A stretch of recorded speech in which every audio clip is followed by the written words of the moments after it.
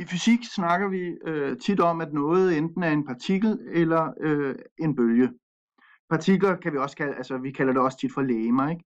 Øhm, og, og partikler og bølger, de opfører sig forskelligt, så, så man er nødt til at, øh, i hvert fald til at begynde med her, og og starte med at, at lære lidt om partikler for sig og bølger for sig måske. Ikke? Og øh, bare lige, I ved, I ved udmærket godt, øh, hvad partikler er og hvad bølger er, men hvis vi nu for eksempel kigger på sådan en YouTube-video her, så har vi en bold heroppe, vi har en bold der, og vi har en mand her.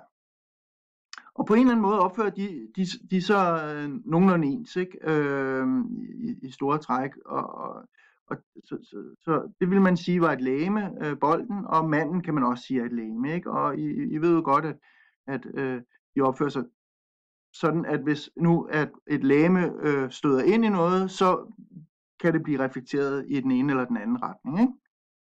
En bølge er lidt anderledes.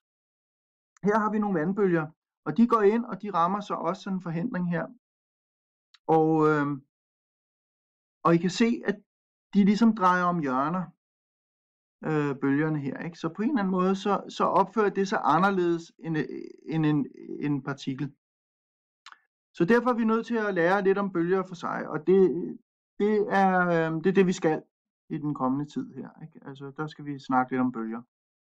Så, øh, så, så det er det, der er det næste emne.